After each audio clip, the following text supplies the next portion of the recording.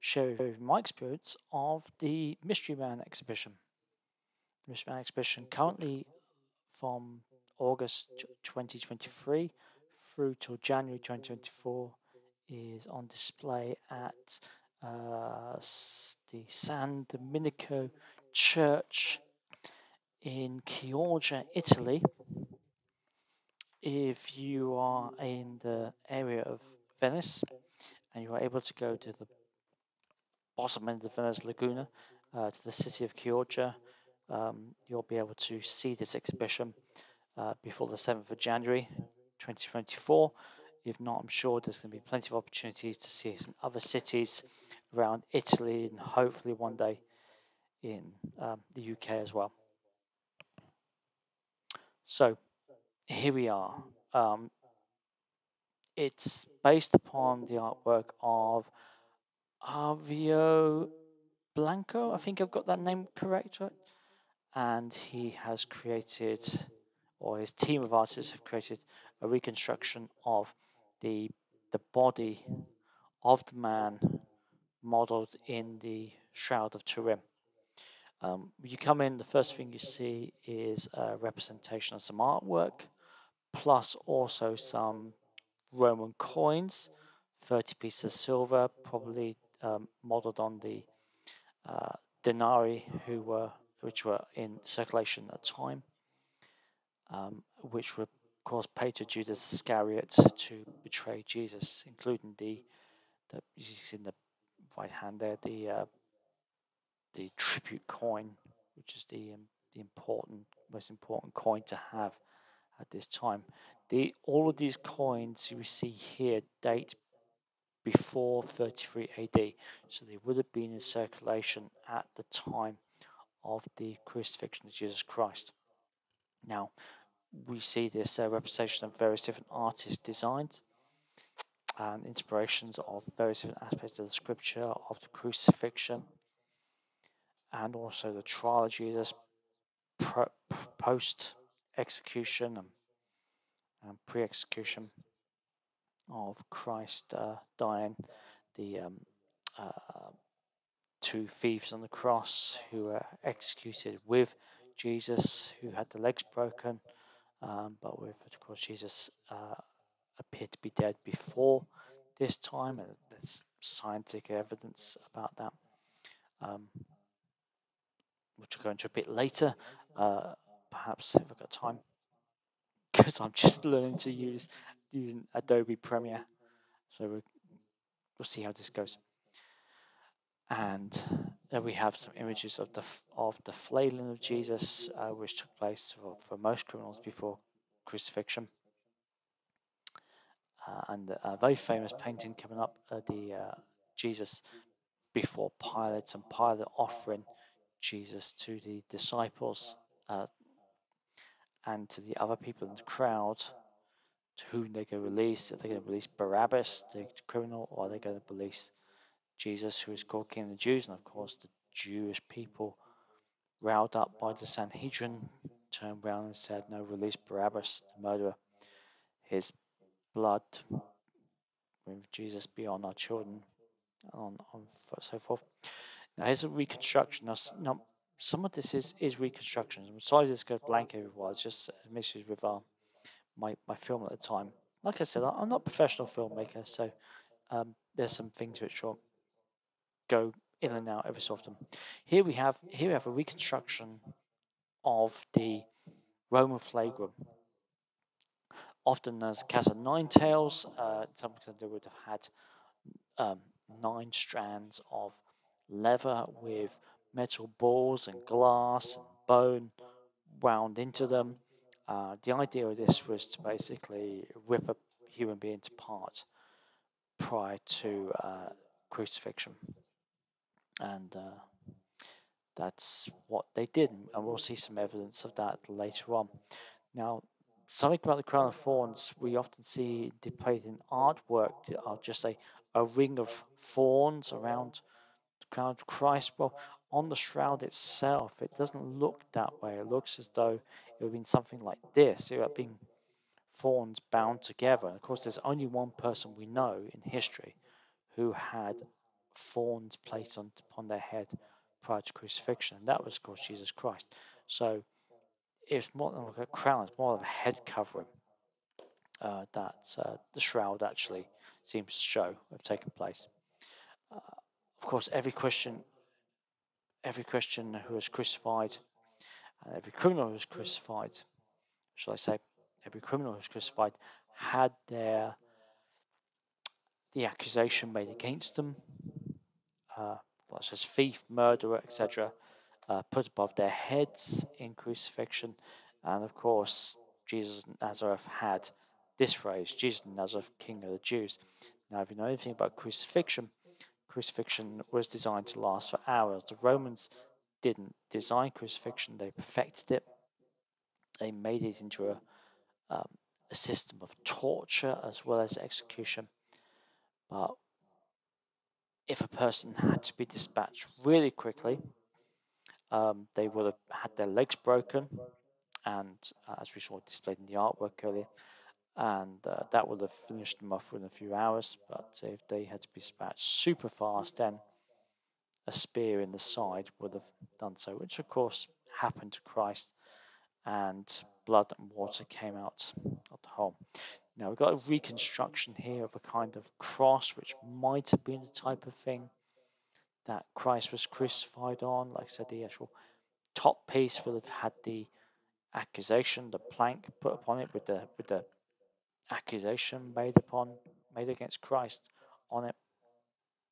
But certainly, uh, um, any ideas of from from the from the scriptures and also from history of Jesus being impaled on a pike, on a single pike with his hands above his head and hands upon his um, feet uh, in one straight line, basically, as the Jehovah's Witnesses like to um, uh, portray, is complete bunkum. Uh, it there's no evidence to say this at all. Now, something about the uh, the exhibition, which is really quite fun, bit dramatization here. We have uh, a scene inside the tomb of the body being laid and the shroud being placed over the body of Jesus here. So it's a bit of animation here, which is quite um, impactful, I think, which is yeah really interesting.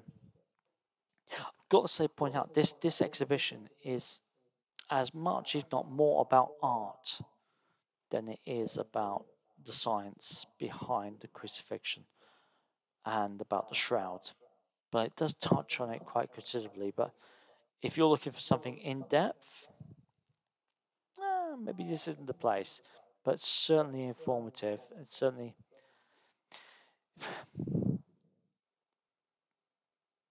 trying to be respectful here. For something more entertaining, um, as into as of interest to give you information. This is a, a great exhibition to go and see. You've, you've got to see it if you get a chance, and it's, and it's very reasonably priced as well.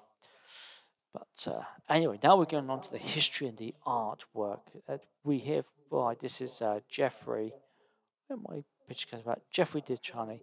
Now, in the 14th century, um, actually in the 13th century, uh, Constantinople was, was, was um, sacked by the French Crusaders.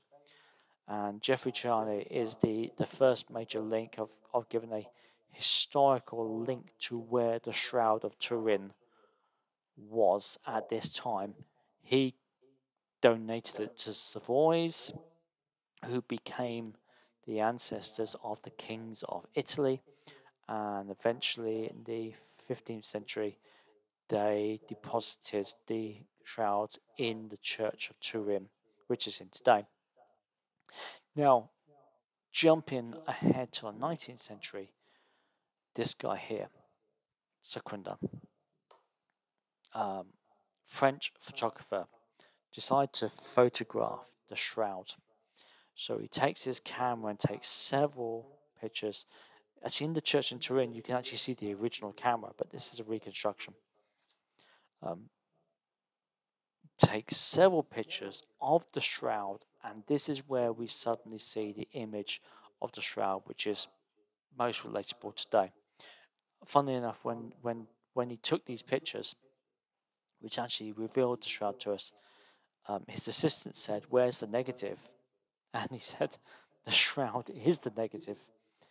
This is the real picture. Um, in the 1930s, uh, Pierre Barbet started to do some forensic um, research on the on the shroud, which is really really interesting.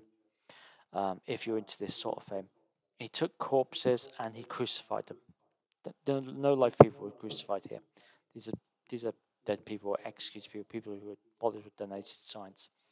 Um, and it's from here that he found that if a body is nailed to a cross and the nails go through the palms of the hand, the weight of the body will basically pull the hand off the cross. They'll, the nail will rip through the palm of the hands, which basically 2,000 years of Christian artwork was chucked into the bin. Okay? We often see Jesus Christ, particularly with the nails um, put through his hands. It wouldn't have happened. Here we've got, I, am sure who this is one. now. Is it Rembrandt or someone?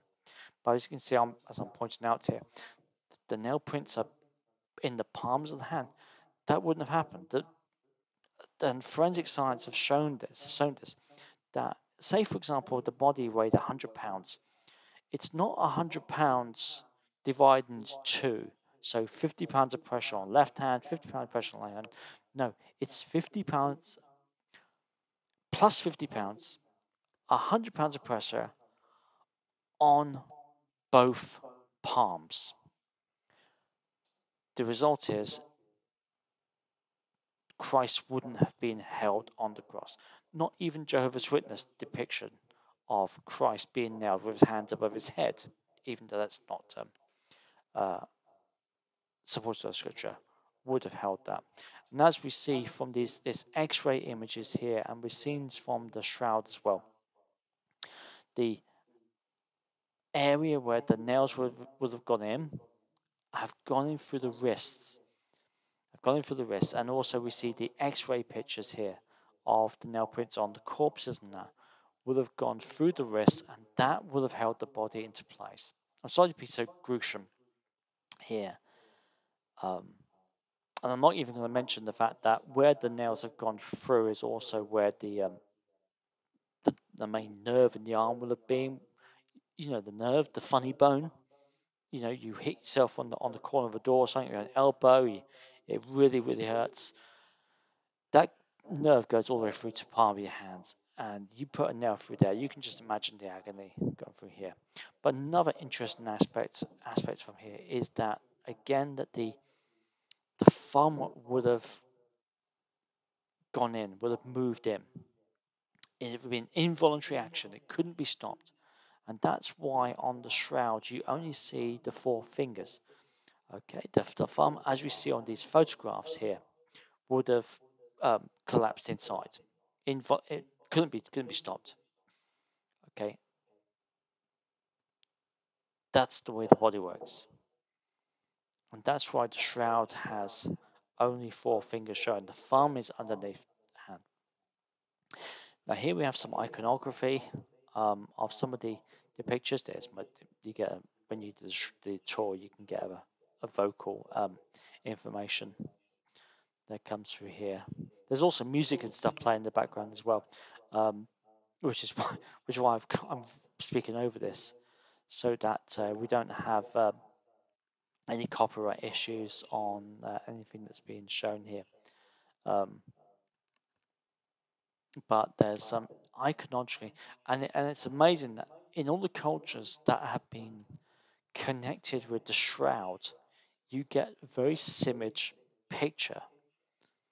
Um, the Jew, very much a Jewish face, uh, a pale white person, um, and these two images here we're about to see now, really fascinating. These, these are Roman images. And we see that Jesus is portrayed, of course, every culture portrays Jesus in their own way. But you see the, the, the Roman images, there's no beard, there's short hair. Okay? They weren't exposed to the shroud at the time. But the Byzantines were, the, the Syrians were.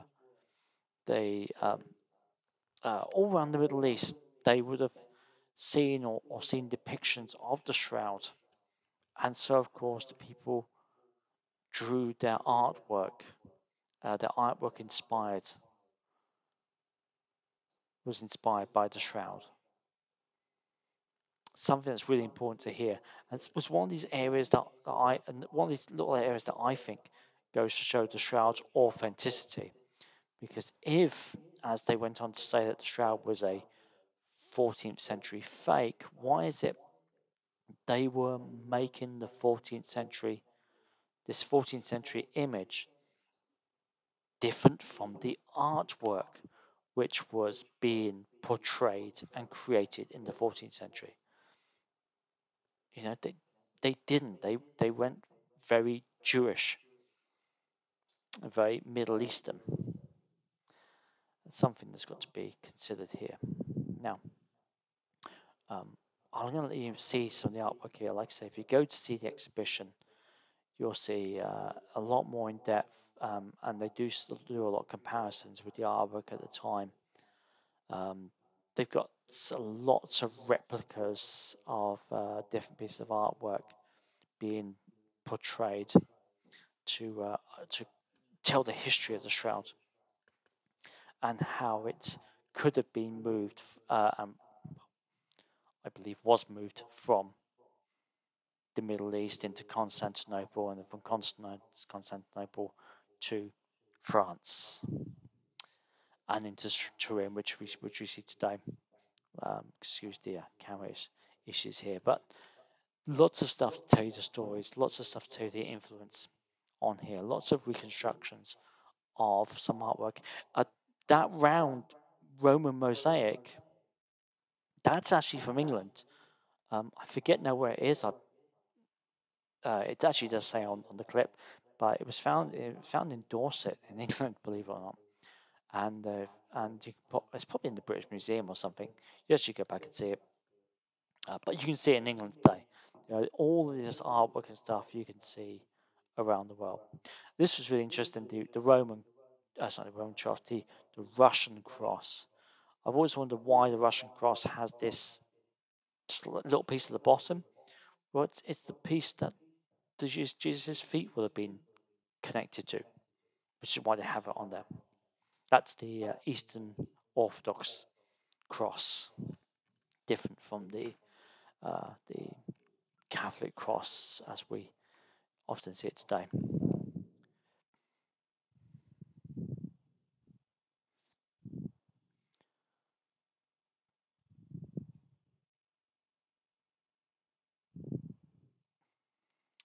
We're seeing a bit of um, of the STURP research here. Now this is the science bit that comes in from the Shroud uh, and the STURP research project. The project, the the Shroud Turin research project uh, set in 1978.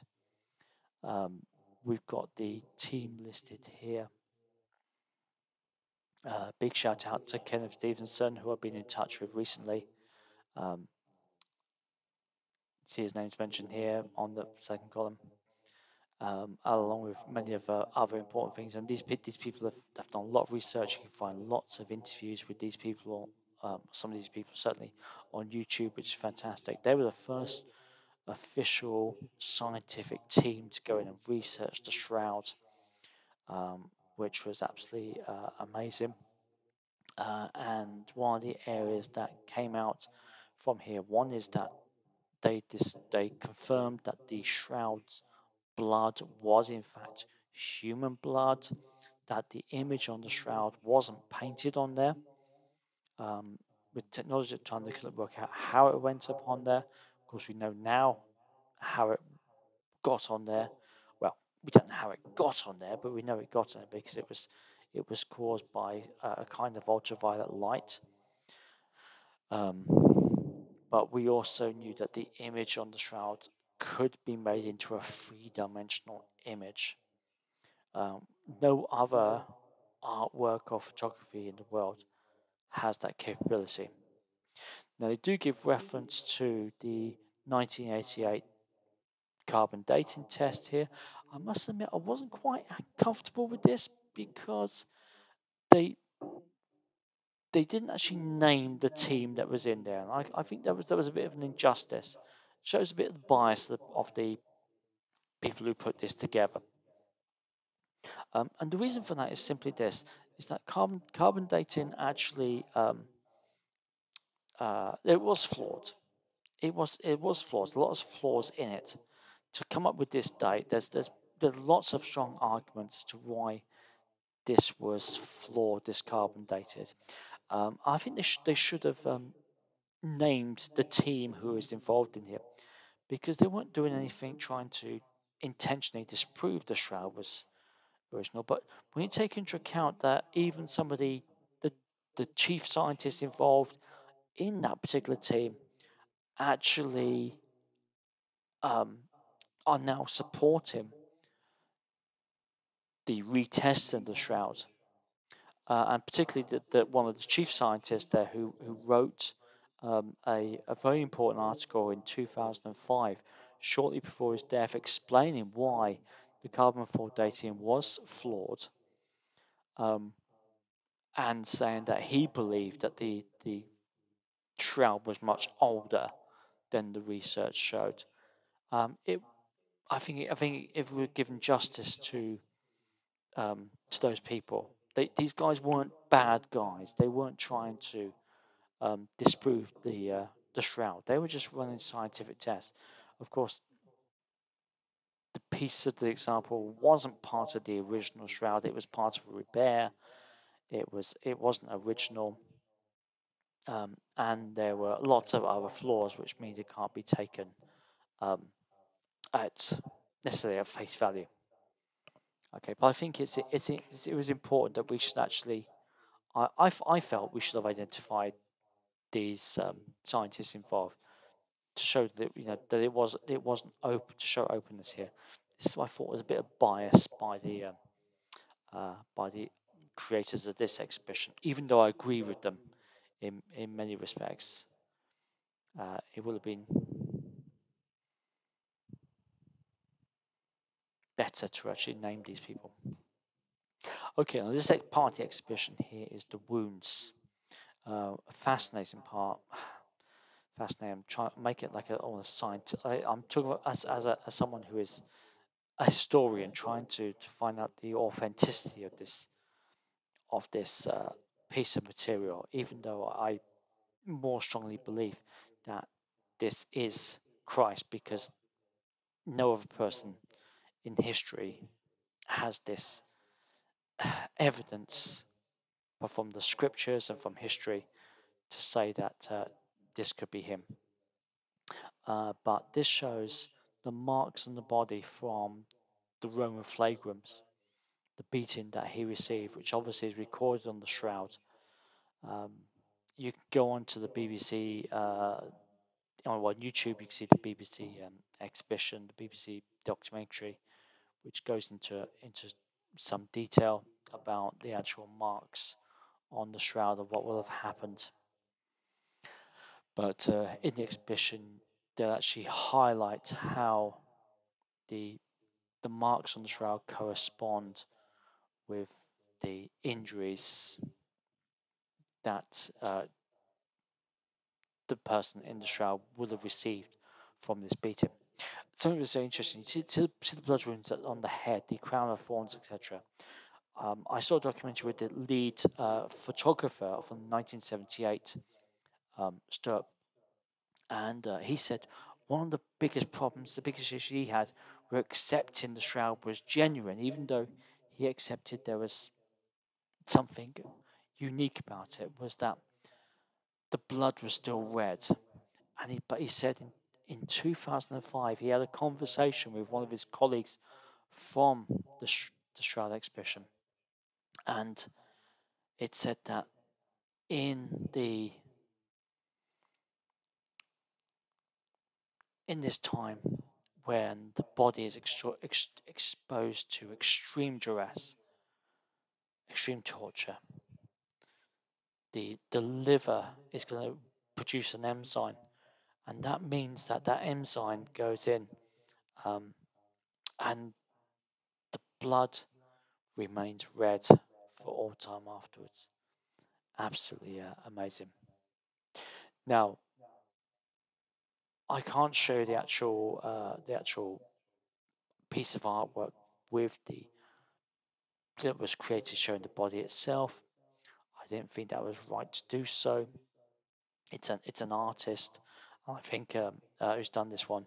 They have produced stock images which are available on the internet, which you're going to see shortly, and uh, you can go and watch that uh, anytime you like. Uh, have a look at that in greater detail. So please go and uh, see it. Like I said, go and see the actual exhibition itself. Um, but very soon, I'm going to go into an interactive, uh, an interactive room where everything around is going to have displays on different types of artwork. I'm going to I'm going to show you the whole the whole thing here. Um, I hope it's not copyrighted material because this is all artwork which is available around the world. Um, uh, but this is actually mind blowing because when they show it to you, everything is shown around you. I'm just going to be flipping all around from side to side with my camera. And you're going to see the video very shortly. Um, and they're going to show pictures from all different time periods. Yeah, it's, it's clearing up. Sorry. I'm new to this. I'm new to this technology. But we see, you're going to see the mystery man, and they're going to show how art portrayed the crucifixion and burial of Christ from the early centuries after the crucifixion onwards, starting from Paleo Christianity and like 200 years, 300 years after the death and resurrection. As you see, it's, it's um, interactive room, so everything's on show. This is mind blowing.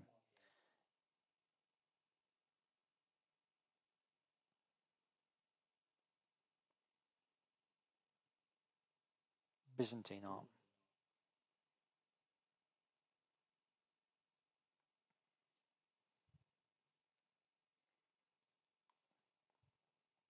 like I said, it's, it's everything around you is changing.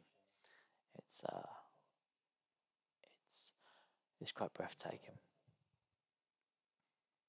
and you'll see how the artwork changes, how the artwork uh, um, is portrayed by different artists.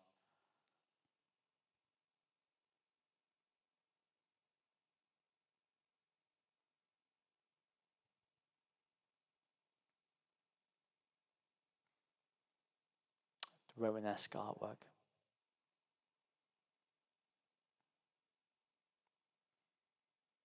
Now we're into the first thousand years after Christ.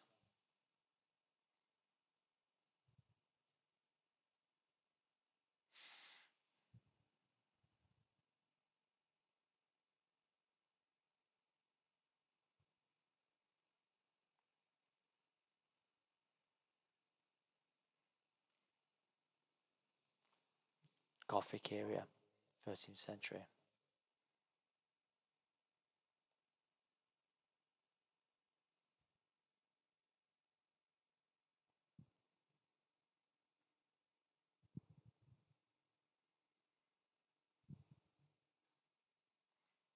Some great close ups of some classic works of art.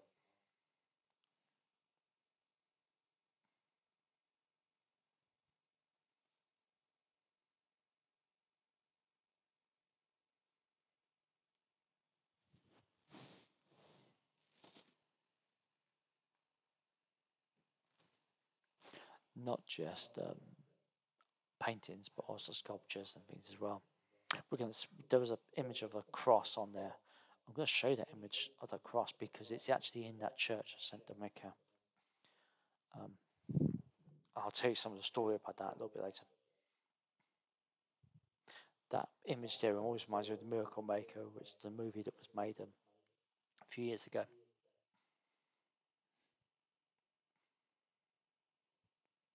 and we're going to start coming to the Renaissance period. It's the from the judgment scene of the, uh, Sistine Chapel.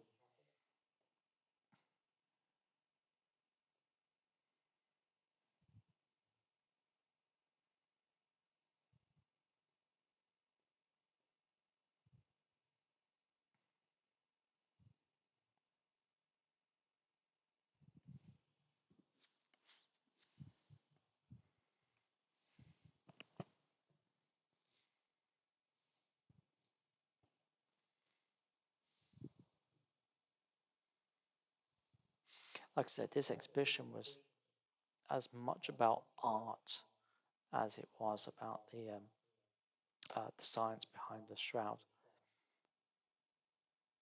The assumption is that the shroud is genuine. I think for many people, including the people who actually worked on the STURP project, it, sometimes it wasn't one thing that convinced them that the shroud was genuine sometimes it was a combination of many little things that convinced them. Uh, for me, I think hmm, the final piece for me, little pieces. I think it's the it's the X-ray image showing the teeth that could have only happened, only been imprinted onto the cross by energy coming from within the body. The work of Salvador Dali there. Even these pieces I'm seeing around, picking up, sorry to interrupt, but yeah, that's it. Um, it had to be something coming from inside the body. It couldn't be outside. They, they weren't known in the 12th, 13th century about X-ray images.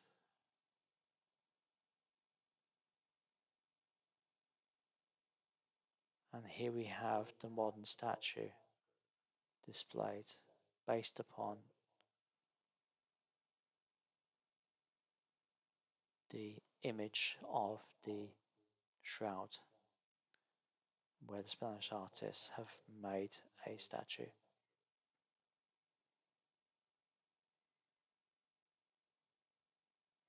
in the 21st century.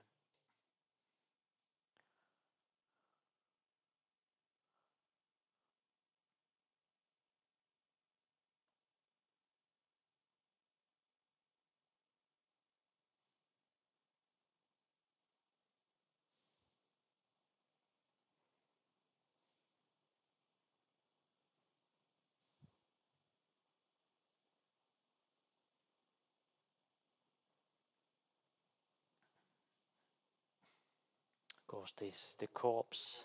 They call this bit the body. Um, it's a piece of work of art.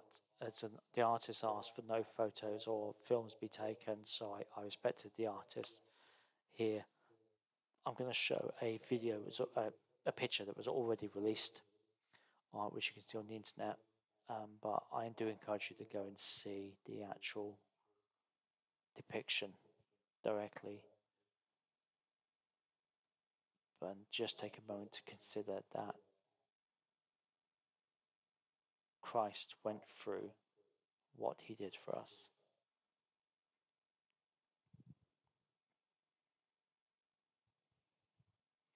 As the chief photographer on the 1978 STURP project said, um, looking at the injuries that this person on the shroud received, he said it's not for not for Christians, it's not for Muslims, not for Jews, it's not for Hindus, it's for everyone.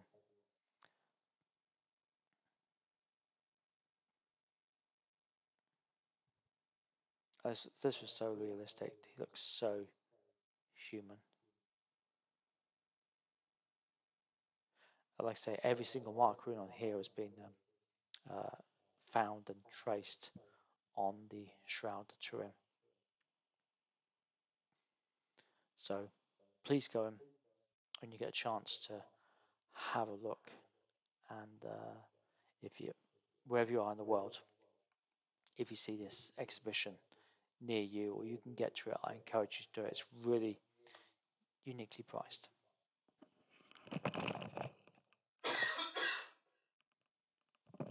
Now this is the actual cross in the church. I said I said I would do this one. It's one of these crosses that wherever you look underneath, it appears that Christ is looking at you. It's got a really interesting history itself behind it. I couldn't take a picture from the distance from here because this is where the um, the shroud, uh, sorry, the shroud body is being shown. Like I said, not like one photo is being taken.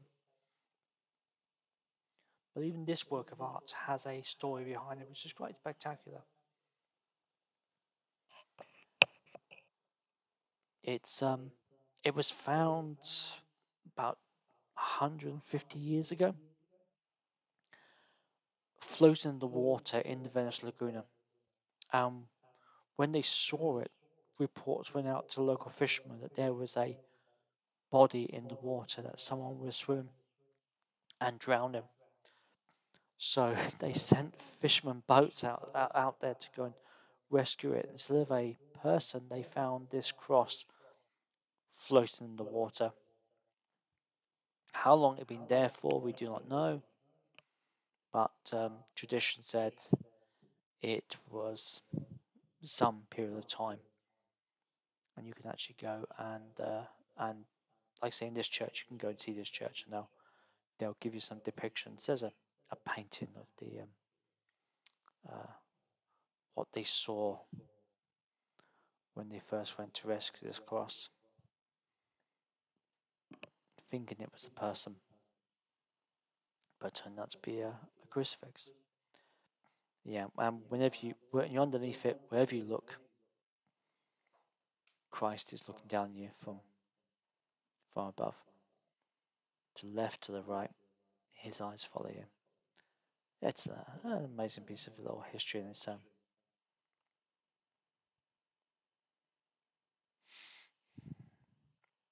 So, that's it. That's the Mystery Man of Chioggia. Uh, it's been on show in several places around the world. Um, if you go to this church here, to uh, San Domenico in Chioggia, if you go before the 7th of January uh, 2024, you'll be able to see it there. It'll move on to other cities um, throughout the years. Please, by all means, visit their website. If you go to themysteryman.com, they'll be able to tell you further details of uh, where it's going to be if you're watching this video outside the time. Um, so I hope you found it really interesting. Hope you found it fascinating. Hope I haven't bored you to death too much. But if, if you're like me, you suddenly become in the last few years quite fascinated with the shroud and its history and the fact that it's still it's still a talking point that this could be the body of Christ uh, portrayed to us. It's it's amazing, and I do encourage you to see this whatever faith background you might be, if you've got no faith, um, come and see it. As the, the chief photographer of the show project said, the shroud is for you. Thanks for watching.